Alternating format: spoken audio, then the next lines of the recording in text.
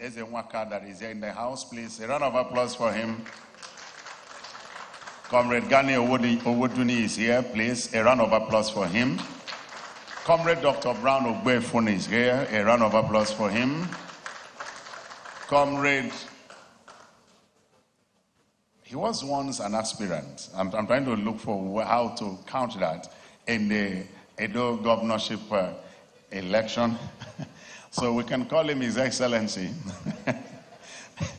Comrade Peter Esele is here. A round of applause for him, please. He was also a TUC President General. Comrade Babatunde Ogun is also in the house. A round of applause for him. And we have a former General Secretary that is also here with us. A round of applause for him, please. The name has skipped my. Bayo Lowoshile, please. A round of applause for him one more time. You see a lot of faces, you see a lot of people, you try to. Please, I beg your pardon for those who have their people here, please try and send the names across to us so that we can also uh, recognize you. Dr. Ide Wodyong Idemeko is here in the house, managing partner of Wodyong Cine Consults and former PDP governorship aspirant in Akwa Ibom State. A round of applause for him. You're welcome.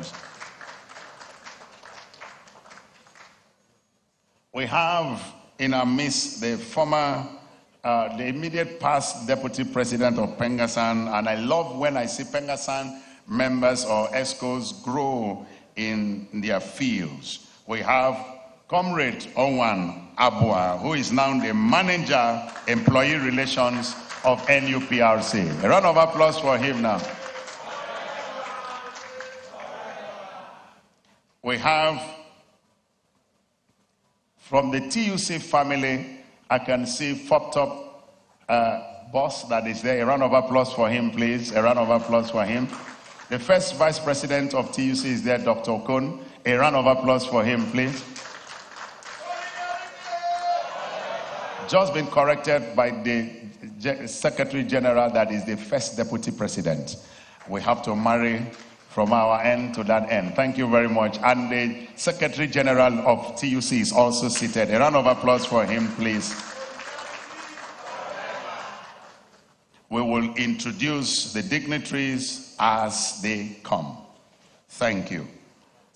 Mr. President, we are going to take the opening remarks, and of course, it will still come from the convener of this uh, 2023 Pengassan Energy and Labor Summit. Comrades, ladies and gentlemen, let's welcome our president, Comrade Engineer Festus Osifo, for his opening remarks.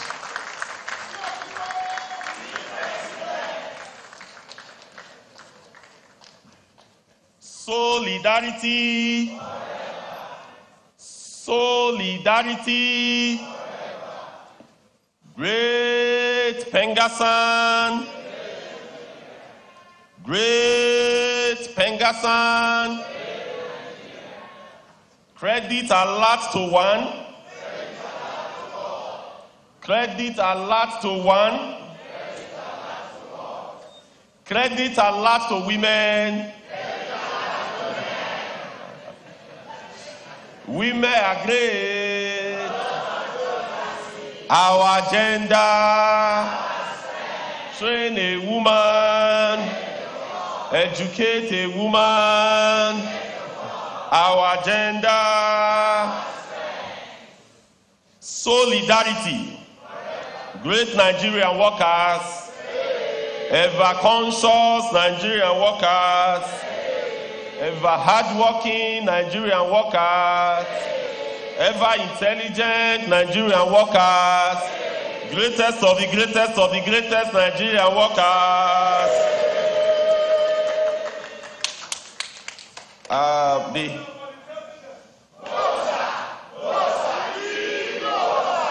Thank you so much, comrades. Although the master of the ceremony has established the protocol, but I will be fine if I don't respectfully uh, say, uh, I mean, recognize one or two persons that are here. Most especially our daddies that have been here since yesterday Uh, we call them the conscience of Pengassan because uh, they are the people that ensure that we are here today. Most of the CBAs, most of the collective bargaining agreements that you enjoy today in the industry predated us. In fact, when a lot of us, when we are employed in our respective places of work, we met a good condition of service. And this wouldn't have been possible if not for the light of our elder. I mean, uh, few of them are not here. I think about two or three of them are not here. Uh, but uh, here we have our elder, uh, past president of Pengassan. I recognize you, sir. Pa Austin Ezewanka is a high chief. Uh, we have um, elder comrade Gani Owoduni. He was the president of Pengassan during June 12th. Hope you all understand what that means. Uh, we have uh, our elder, Dr. Brown Ugbefun, popularly referred to as Godfather. We appreciate you. Then when the MC was introduced, forever, when the MC was introducing our, our own daddy and elder brother, he said he was formerly a governorship aspirant, that we should call him His Excellency. Maybe we'll call him His Excellency in waiting. we appreciate you, sir, for all that you have done. Uh, Comrade uh, Peter Esele, past President Pengassan, past President Trade Union Congress of Nigeria. Then also we have Comrade Babatunde Oguns, who was a two-term president of Pengassan. He spent six years as president of Pengassan uh, between 2008 and 2014. Then we have our elder as well, Comrade uh, Bayo Olowushile, who was the former general secretary of Pengassan. We appreciate you. We appreciate all the support. We appreciate everything that you have done in the past. In fact, um, um, Comrade Shino, who was the president before the Godfather, said something that if you are president of Pengassan and you left that position without a high BP, you have to go and do a serious Thanksgiving. That because um, to hold that position for just one day, the stress and the, um, the rigor that comes with it's quite enormous. But seeing all of you dressed so beautifully and gracing all our functions. We are extremely happy and we thank God for life and we thank God for good health. Thank you all for all you do. We really appreciate you. Uh, the uh, members of uh, the NAC of Trade Union Congress of Nigeria, the president of Association of Senior Civil Servants, uh, the also the deputy president, one of TUC, president of FOBTOB, who is also DP3 of TUC. We quite recognize you. Thank you. Uh, you've been here since yesterday. The General Secretary of TUC, we appreciate you. Thank you. The Auditor of TUC, we quite appreciate you all for the strong solidarity that you have shown to the Pengassan family. We appreciate you. Uh, the CWC members of TUC, the General Secretary, the Deputy President, and all other members, the National IRO, uh, the National Treasurer of Pengassan, we appreciate you all uh, for all the solidarity, I mean, uh, that we have shown and the camaraderie that we've put together to get this program underway. And also uh, our invited guests. And just before that, I, you know, when I came in earlier, I met the former deputy president of TUC. He sat at the, at the invited guest corner. I said, I know, Comrade One, you cannot be sitting here. You were just part of us few, few days ago. I mean, he's someone that has put a lot into this movement as well, former deputy president of Pengassan, Comrade Owan Abua. We quite appreciate you. You're welcome. Then all other NEC members that are here, we appreciate you. Our women, oh, we appreciate you for all that you have stood for, you know, uh, for this um, association. Then the formal, we have a lot of former CWC members here. I could see our former uh, Port Harcourt Zonal Chairman, Comrade Otono. I could see uh, the immediate past chairman, a very forever, a very strong chairman from Warri Zone who just retired from service just about just less than one month ago. Uh, Comrade Audu Shokomale, popularly referred to as Chokomilo. We, we quite appreciate you.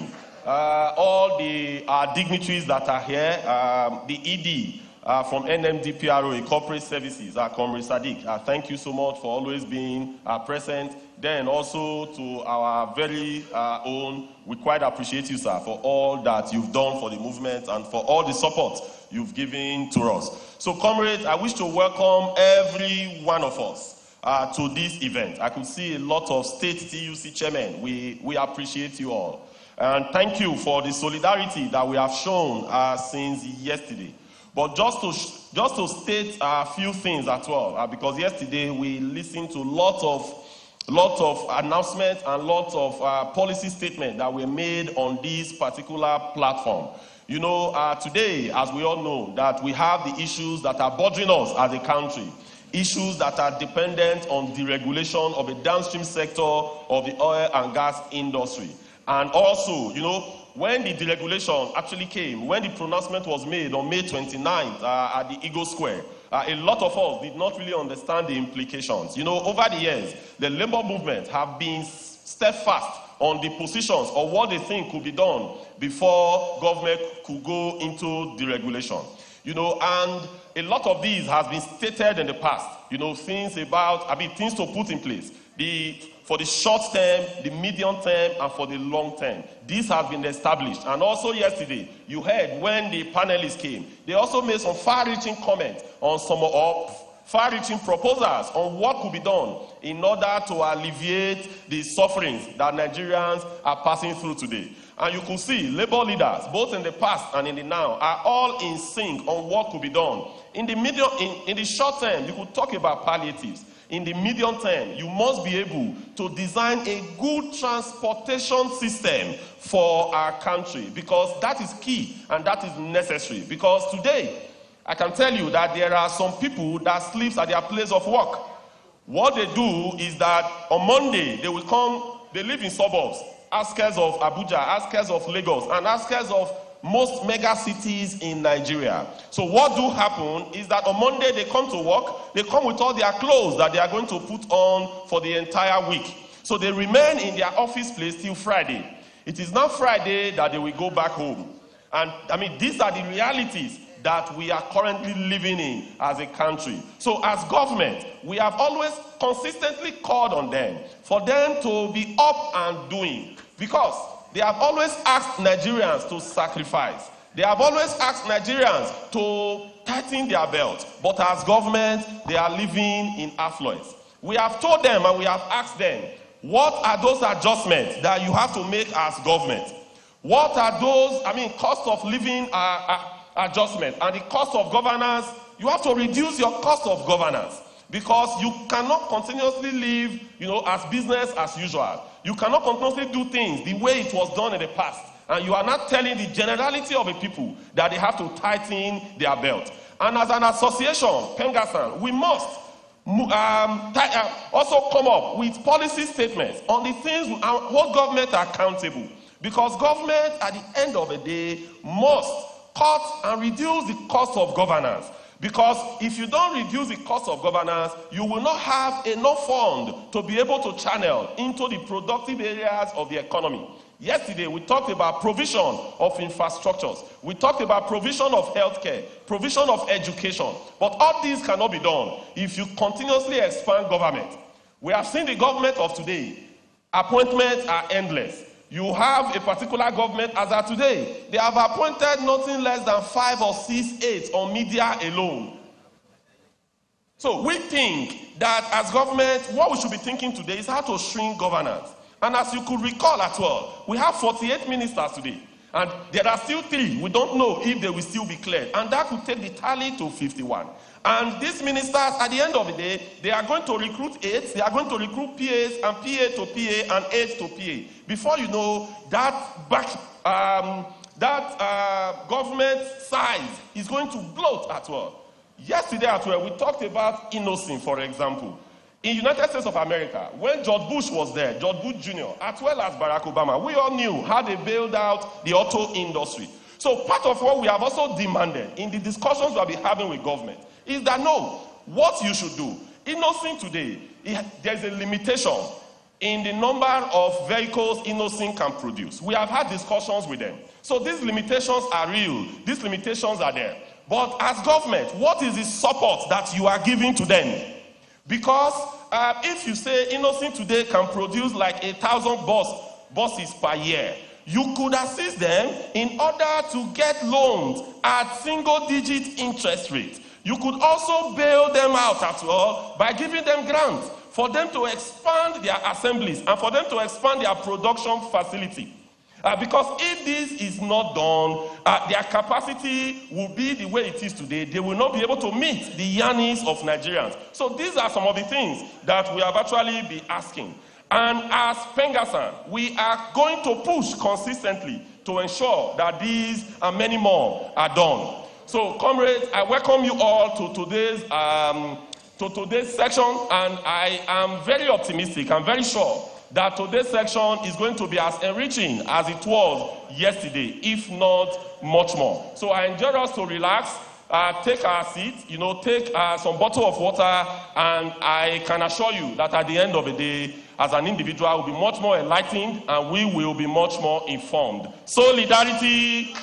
Thank you so much, comrades. Thank you.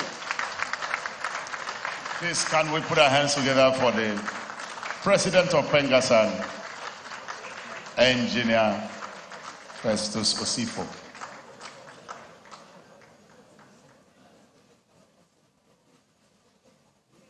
Thank you very much.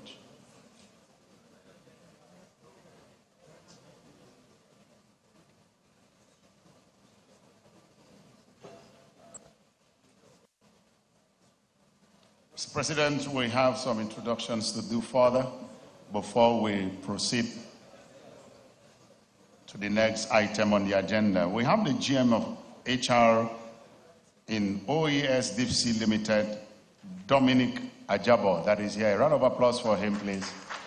Can you just wave? You're most welcome, sir. Mr. President, while you were still speaking,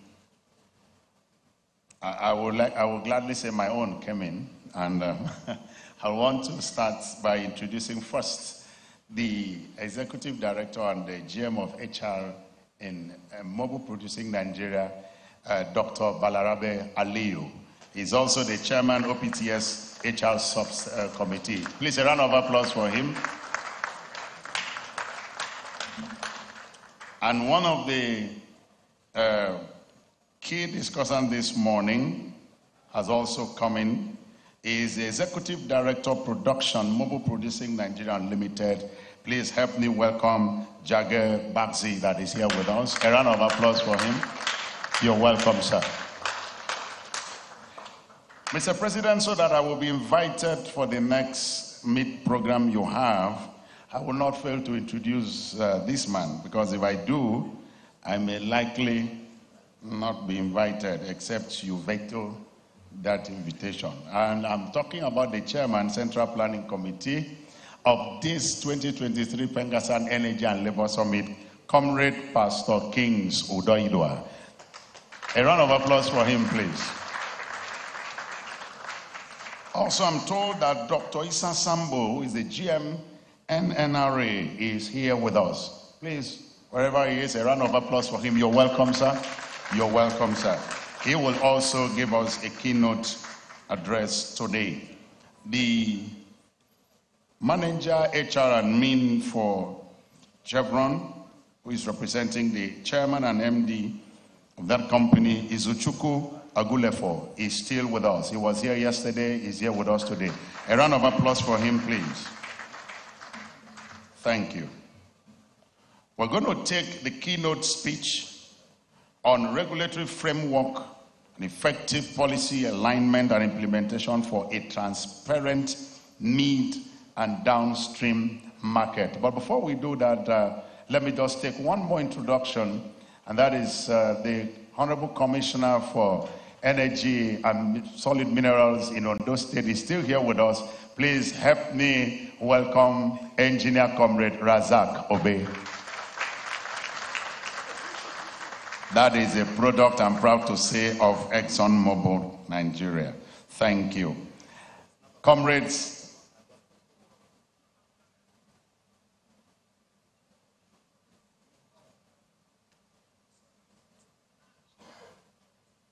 we're going to take the keynote speech from the executive Authority Chief Executive, I have to be very careful so that I don't want to make mistake, of Nigeria Midstream and Downstream Petroleum Regulatory Authority. He is ably represented here by Bashir Sadiq the Executive Director, Corporate Services and Administration of the same industry. A round of applause for him, please, as he comes up to give us the keynote address. A round of applause as he comes up, please. Please, let's clap till he gets up here.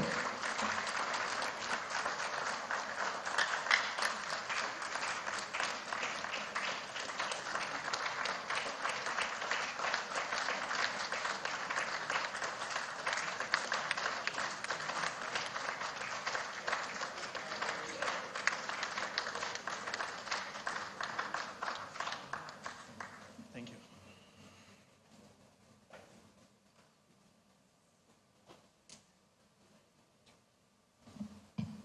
This one. Great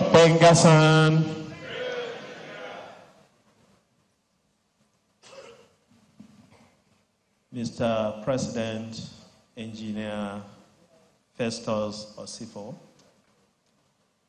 members of the NEC of the Pengassan, I think uh, it would be futile for me to try to recognize everyone because the president has done a very excellent job of that.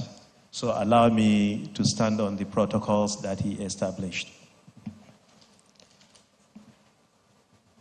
I'm here this morning to represent my chief executive, engineer Farouk Ahmed, who is unavoidably absent.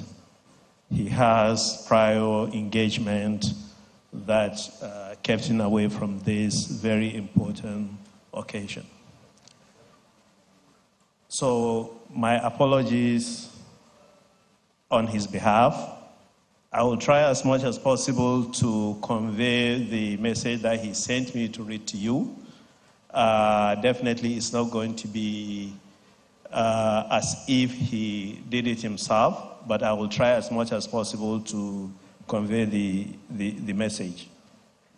Obviously, uh, the Pengassan is a very important partner to us in the NMDPRA, and we appreciate the cooperation we enjoyed, especially from the president and his NEC and our in-house union. We also appreciate the national body.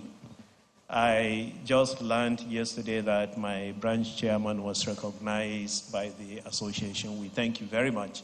And that particularly gladdened my heart personally because the union are the ones that we work closely with in corporate services and administration. And in the last two years, it is a testimony to the fact that we have had very cordial working relationship with our union that we have not had any industrial incident relating to our very important asset, which is the human capital that we manage. And it is a great testimony to the efforts of the president and our branch uh, members. We thank you very much for that. Having said that, I will go ahead to read the keynote address of Engineer Farouk on regulatory framework, effective policy alignment, implementation for a transparent mid and downstream market in Nigeria. Ladies and gentlemen, it gives me great pleasure to deliver this keynote address to this August audience of indefatigable comrades, workers, and pillars of the Nigerian oil and gas industry. I must congratulate the organizers, Pengassan, of this event, whose efforts and commitment to value creation have provided this platform for all key stakeholders to contemplate and elaborate on policy directions, deliberate on industry challenges, and chart a path forward for the growth of the Nigerian economy and the Nigerian oil industry. This effort is a testament to the fact that Pengassan, as an organized labor group, remains a very vital component of our nation building efforts in Nigeria. The general theme of this summit, petroleum industry deregulation and gas utilization for a sustainable energy future in Nigeria, is consistent with the strategic agenda of the government and leadership in the energy sector. It underscores the desire of government to liberalize downstream industry and use our God endowed gas resource as transition fuel and a vehicle for our developmental inspiration as a nation. The sub theme, regulatory framework, effective policy alignment and implementation for a transparent mid and downstream market, which I am discussing today, is very important aspect of Nigerian energy ecosystem. And I thank you for carefully selecting this strategic topic for this year's Labor Summit. Now, talking about mid and downstream sector of the oil and gas industry. The mid and downstream sector of the energy industry are vital components of our economy and implementation of effective policies and regulatory frameworks that ensure transparency in the sector are critical drivers required to develop a successful sector that will promote investment, deliver energy security, and ensure sustainable economic development for Nigeria. The mid and downstream sectors of the oil and gas industry value chain encompass various activities. These activities include refining, processing of natural gas, distribution, storage, and marketing of petroleum products and other energy products obtainable from oil and gas resource. While Nigeria is greatly endowed with abundant reserves of crude oil in excess of 37 billion uh, barrels of reserves and about 206 trillion cubic feet of gas, preponderance of the produced resources are exported without processing. The country needs a very robust midstream, mid and downstream sector to maximize the inherent values that can be derived from these resources. The mid and downstream sector is where the most value is created.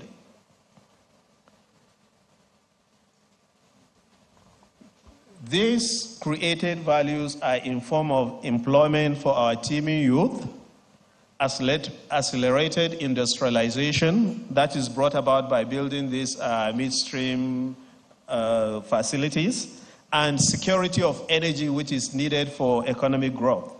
And it also gives the added advantage of generating revenue both for the investors and for the government of, the, of Nigeria. Now, why is transparency uh, important in midstream and downstream sector? A transparent mid and downstream market attracts investment. It promotes efficiency. It promotes competition and is a vehicle for sustainable development. So it is very uh, capital goals where it is most needed and where there is transparency. So achieving transparency requires some key components such as effective laws, clear sectoral policies, and strategic objectives, sound regulatory frameworks, optimal enforcement, and compliance to regulatory requirements. And this is where NMDPRA comes in as a regulator in the oil and gas industry. The PIA, which is currently the governing legislative instrument that defines the key regulatory frameworks of the mid and downstream industry, has made substantial provisions that will guarantee optimal transparency in the operations of the sector. Of the sector. Such provisions include one, clear terms and conditions applicable for issuance of mid and downstream operational licenses. These conditions are clear.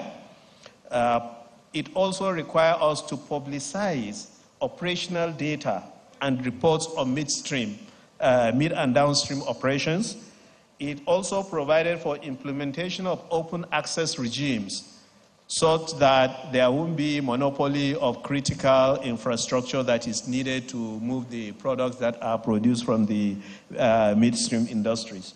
It also provided for market competitive uh, rules that support sustainable growth of the sector and protect the consumer. It demand for optimal stakeholder involvement in implementation of key regulatory roles, such as formulation of regulations and key market oversight activities. As a matter of fact, Section 216 of the PIA, if I am not mistaken, provided that for any before any regulation comes into effect, we must have extensive stakeholder consultation. And that is some of the provisions that entrench transparency in the uh, midstream sector. The NMDPRA is working with all its stakeholders to effectively develop a transparent midstream and downstream sector in line with the mandates defined in the PIA and it is my pleasure, I'm glad to inform you that we have achieved remarkable progress in this regard through our extensive stakeholder consultation during the formulation and the rollout of regulations that are already in force.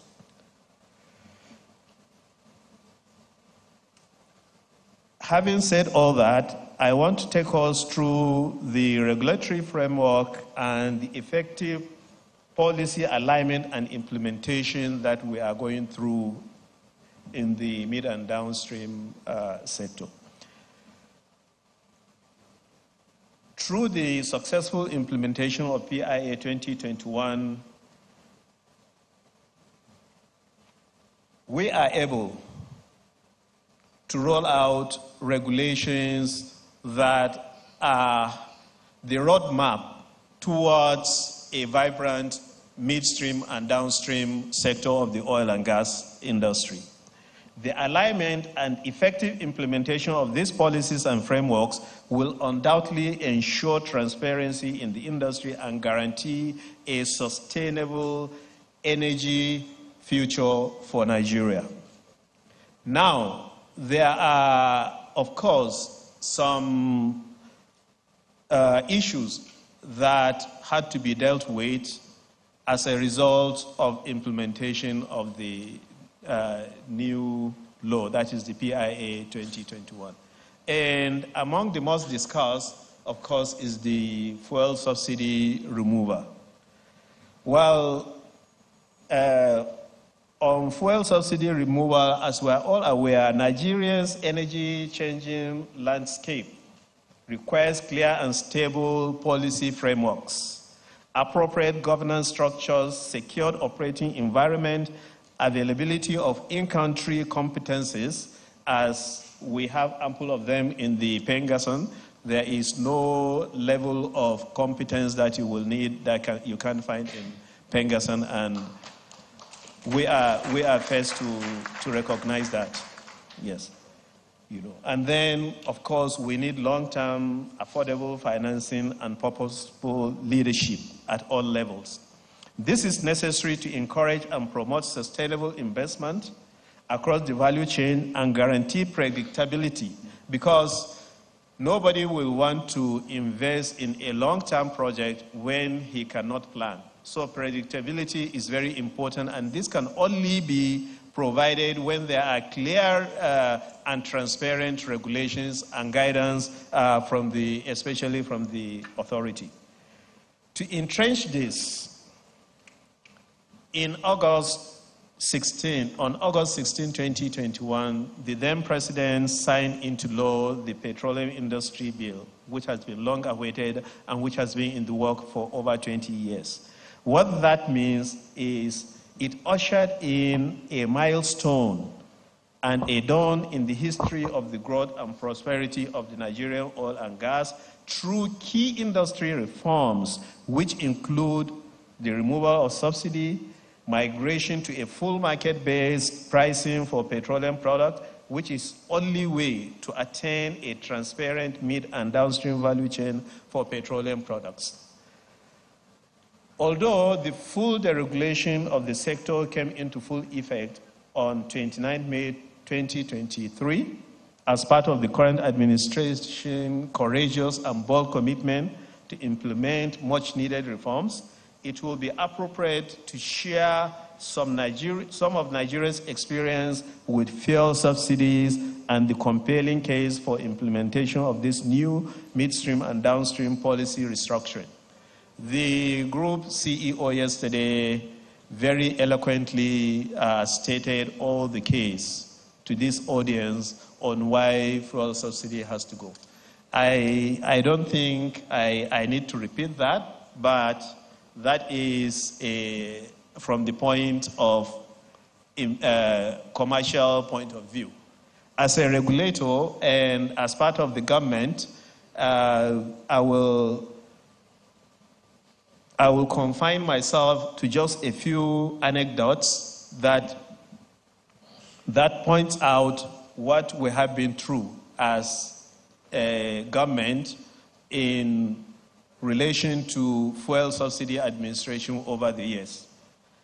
As we are all aware, uh, I think a lot of the, uh, some of the people in the audience know this better than I do, but subsidy issue has been with us since the 1970s when the government decided to make this product available to Nigerians at cost below market prices. As years go by and the subsidy bill ballooned, the government introduced the Petroleum Support Fund. That was in 2003. And the, uh, the reason uh, for introducing Petroleum Support Fund is to pay back to importers the difference between the landing cost and what, uh, what the uh, retail price is. And as time goes by, like I mentioned, this bill continued ballooning until a time when the Petroleum Support Fund, which is a fund uh, uh, that the three tiers of government contributed into, can no longer cover the differentials between the landing cost and the uh, retail price, the regulated retail price. And around 2016, Another iteration was introduced called the price modulation mechanism. The price modulation uh, mechanism also did not work, and subsequently, another appropriate pricing mechanism was introduced. And what that does is to allow marketers bring in product, put in some margin for themselves, and sell to the public at prices at price bands that are determined by, by the government. Unfortunately, the oil marketing companies couldn't import due to mostly challenges with procuring uh, foreign exchange because at that time there are various um, uh, there are various prices for, for, for, for the dollar. You know, there is the open market price, there is the CBN price, and all that and not everybody can have access to the official uh, official uh, prices for the for the dollar, and that falters as well. And as a result of that, the NNPC had to step in to guarantee supply of the commodity through its direct sale, direct purchase mechanism. And that is how it has been up till May 2023. While acknowledging the social benefits of PMS subsidy in Nigeria, the fiscal burden, this has been uh, explained here by the GCEO that mentioned that at a point in time, the monthly bill for subsidy runs to about 400 billion per month. That is unsustainable. And as a result, as a result, the government come to the realization that the only way to ensure continued availability of this product is to operationalize market-based pricing environment for all petroleum products. And that was what government did on 29th May 2023. The subsidy regime in Nigeria, as we all know, created a situation where a substantial regional PMS retail pricing differential incentivized cross-border smuggling. I have mentioned the financial cost, and in the same vein, perennial challenge of the fuel subsidy, which was over the years, over the years has encouraged inefficiencies, waste and environmental pollution, and it has become a major bottleneck, for aligning our country to the sustainable development uh, goals of providing cleaner energy while uh, retaining the environment for our future generation.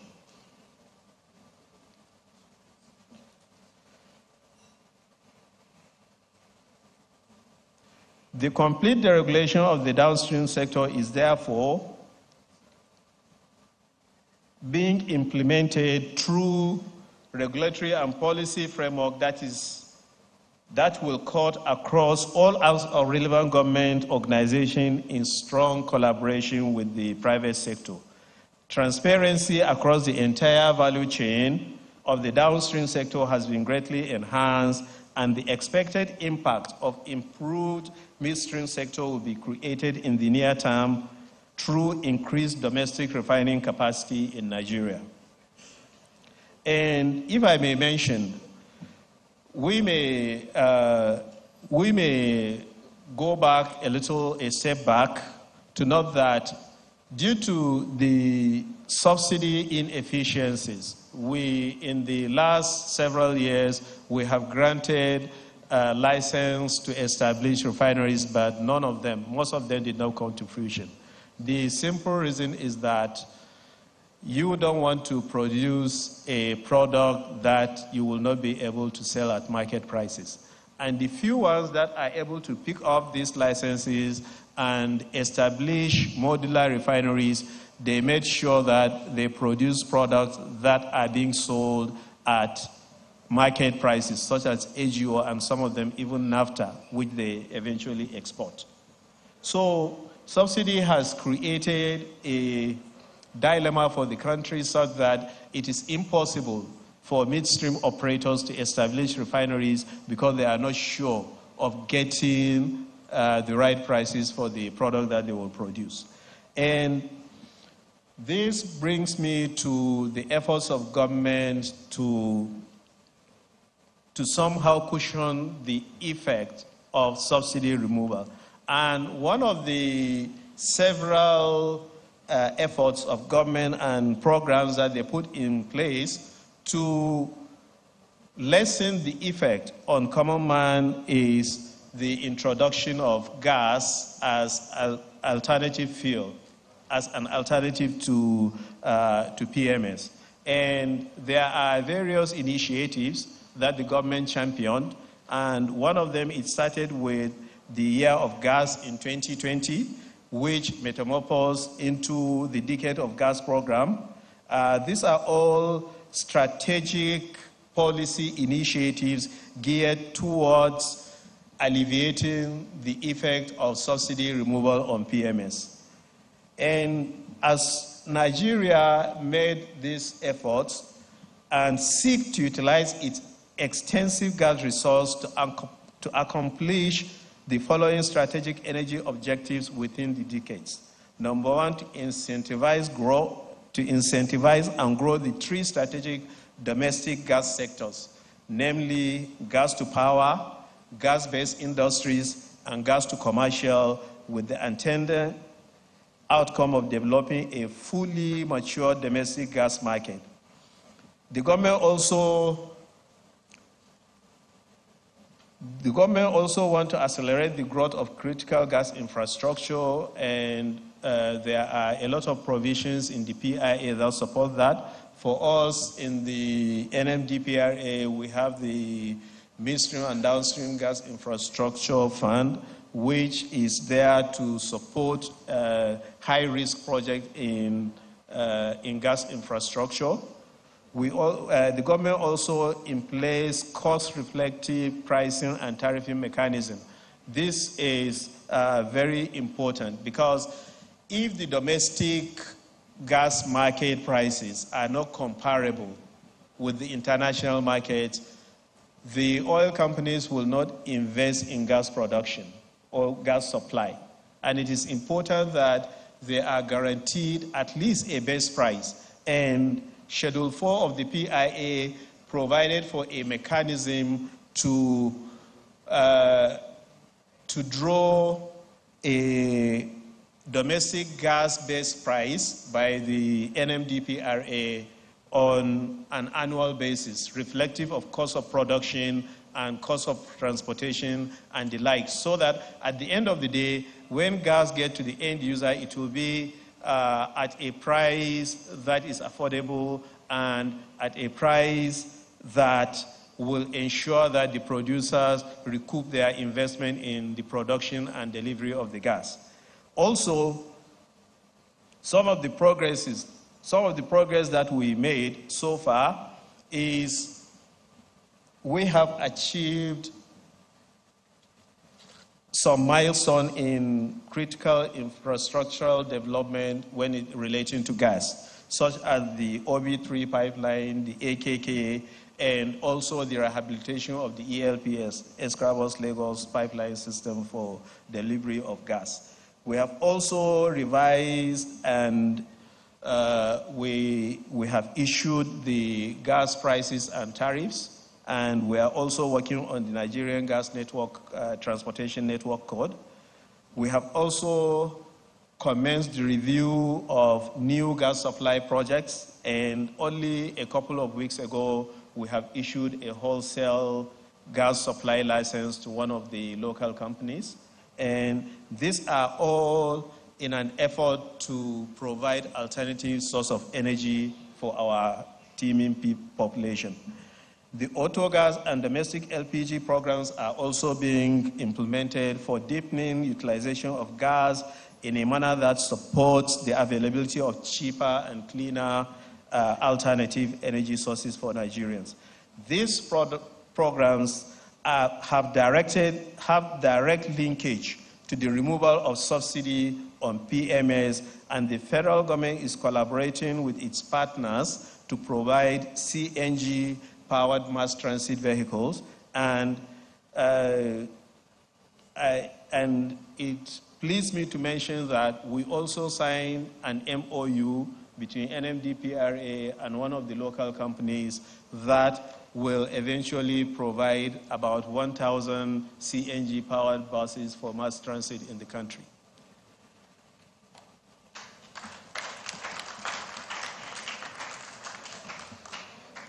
Another effort of the um, government towards alleviating and securing energy provision in the country is the provision of the Petroleum Product National Strategic Stock.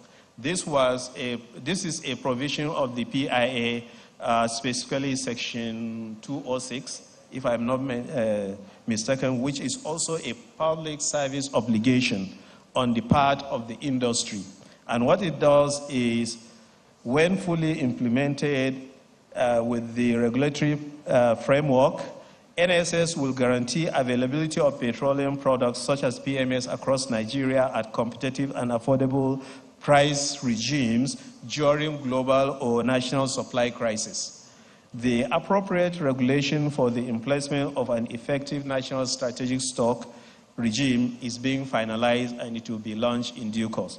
I'm sure that uh, President will invite you to that lunch uh, when it is ready. Key regulatory frameworks being implemented by the NMDPRA. At this point, let me emphasize that the mid and downstream market is being established through key policies and strategic government programs that will ensure a sustainable energy future for Nigeria, and the NMDPRA is pivotal in the implementation of all relevant regulatory frameworks required for the sector. Key regulatory frameworks that are supporting the major policy reforms of the mid and Downstream markets include one, we have issued 20 gazetted critical regulations for mid and downstream sector, and these regulations were developed transparently with the full cooperation of the industry. We have in place new license regimes for the mid and downstream market operations such as wholesale gas uh, supplier license, which I mentioned a moment ago. We have developed other strategic new license regimes that are being finalized, such as gas trading license, gas trading clear, clearing warehouse license, and gas distribution license, among others. Another key regulatory framework that is supporting the effective implementation of mid and downstream policies is the emplacement of new pricing and tariffing frameworks for gas. The NMDPRA is also collaborating with all stakeholders to ensure that these, frame, these regulatory frameworks promote optimal market performance and transparency. We are also using technology to enhance monitoring monitoring regimes of technical operations and commercial activities in the mid and downstream activities. All these policies are geared towards um, protecting the consumer and also protecting the investor so that they can get return on their investment so that the industry can be sustainable. We have enhanced open access uh, operational frameworks and we are excited with the announcement by NNPC of concession of some of their pipelines. We want to see how that goes so that we can have a viral, viral um, transportation system for petroleum products in the country.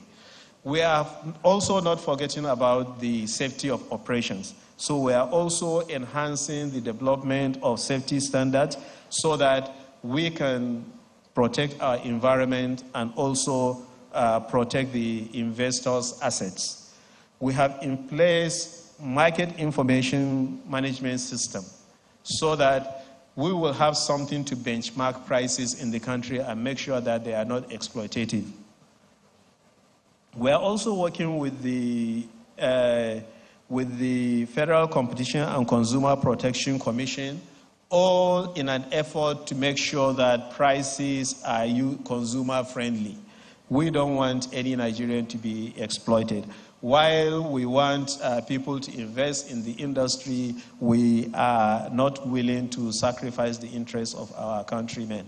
So we are working with the Federal uh, Competition and Consumer Protection Commission on that note. In conclusion, the role of collaboration and dialogue amongst the key players in the energy sector is required for development of stable energy markets, energy security, and sustainability. A transparent mid and downstream market is not just a regulatory imperative, it is the cornerstone for a thriving, competitive, and sustainable energy industry. We at the NMDPRA will be central to ensuring that all policies being implemented in the mid and downstream markets enjoy optimal regulatory support through the implementation of various regulatory frameworks reviewed in this address.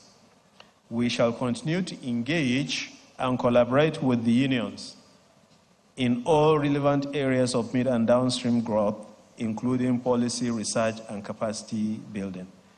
I think it is important for me to mention at this juncture that we can see a lot of differences brought about by the leadership of President Festus Osifo. And one of these is uh, one of these are events like this. So our union has graduated from a union that is only concerned about the welfare of staff to a union that is very much involved in nation building.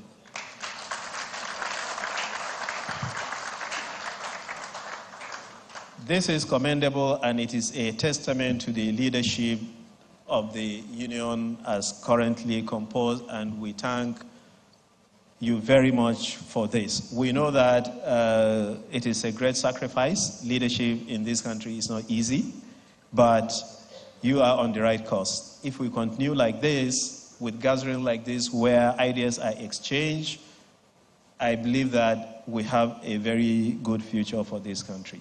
I thank you very much, and please accept the warmest regards of the Authority Chief Executive Engineer Farouk Ahmed. Thank you very much, ladies and gentlemen.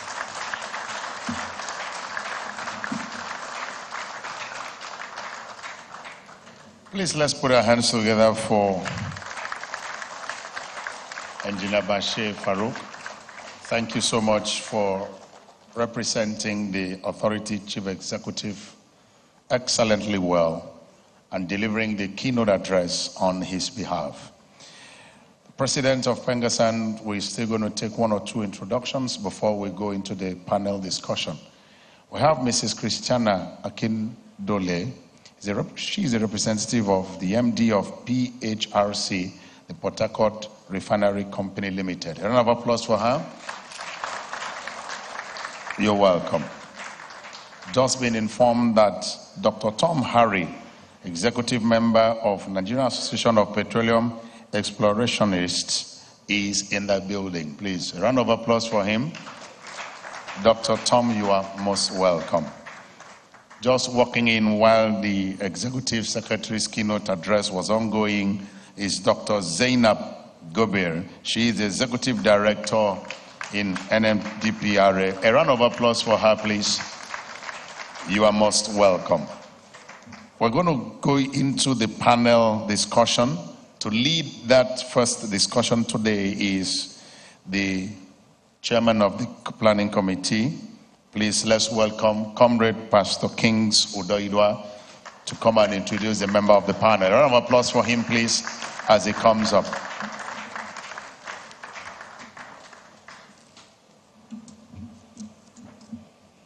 the President Pengassan, may I respectfully stand on all existing protocols.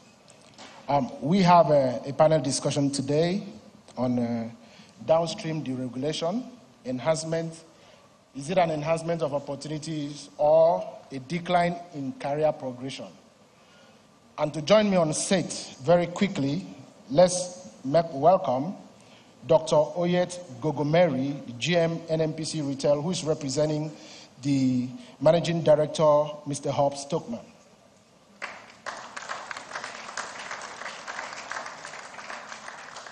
Very quickly following that is Dr. Tom Harry, Director, AXU Consultancy, and also the executive member of NAPE. Let's make welcome the immediate past Deputy President Pengassan, and the head of employee, now the head of employee relations, NUPRC, engineer Owen Abua. Very quickly, so let's welcome the MD of Better West Nigeria Limited, Dr. Victor Dare.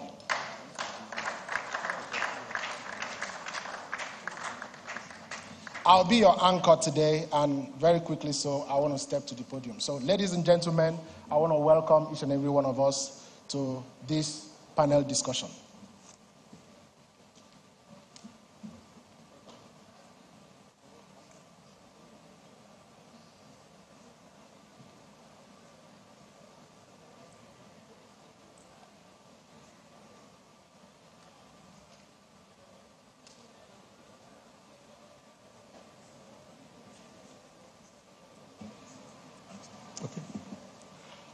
This is a critical discussion as far as this summit is concerned. Over the course of history, we've seen a lot of changes in the industry as new opportunities exist for government and for investors. New strategy of deployment of their workforce is also ensued. One of the concerns for labor has been that each time there is a change strategy. The people at the receiving end of some of those change are the workers. The oil and gas industry is ever evolving with more cry for uh, energy transition, moving away from fossil dependence on um, gas And the question, the big question is with the deregulation facing us as a people, what is the implication to the workforce? What is the implication to labor vis a vis the, uh, the coming of new ways of working on doing business? And that is the business that we are having here today. And we are going to delve into some of these pressing issues downstream deregulation and enhancement of opportunity. And our panelists as, as you heard in the introduction, are experts in the industry, some drawn from the academia, some from uh, currently practicing. So, very quickly, and to kickstart, uh, kick, kickstart the conversation today, let's consider some of our global uh, landscape According to the International Energy Agency, in 2022, the global energy demand rebounded very quickly to pre-pandemic levels. You know, during the pandemic, energy demand had reduced, but after the pandemic, there's been a, a resurgence in, in production and the demands that followed. And especially with the war in Ukraine, uh, between Ukraine and Russia, the, what follows naturally is the fact that Russia is not able to meet the demands of Europe, or they are not willing to. So many people are getting into the business taking opportunity of that. My first question is to my far right, Dr. Victor Dare. How does this resurgence in energy demand intersect with our downstream uh, deregulation and what opportunities does it present for career growth? All right, thank you.